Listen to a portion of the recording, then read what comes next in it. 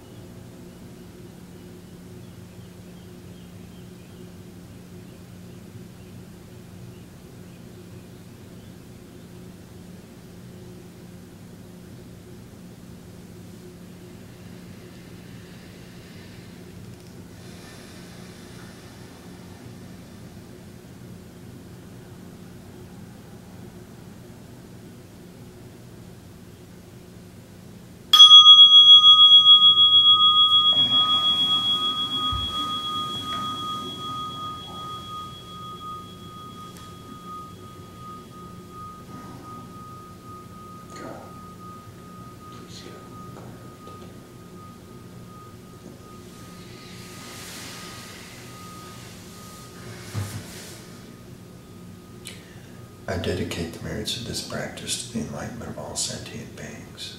May God bless us and keep us and give us peace.